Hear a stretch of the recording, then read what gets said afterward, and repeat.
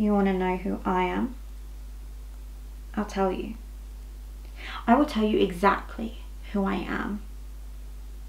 Where would you like me to begin? We could start with my childhood, the beginning, as it were. I could tell you that I was born in Israel and that I moved here when I was three, or we could talk about the simple things in life.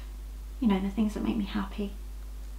I could tell you that my favourite sounds are the birds tweeting in the morning and falling asleep to the sound of rain against my bedroom window. Or perhaps you want to know a great memory from my travels.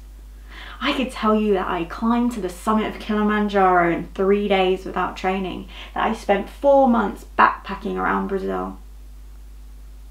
But that's not why you're here, right? You don't really want to know me. You want to know the idea of me. So why don't you just ask the real question you're thinking? I promise, I won't hesitate with the truth.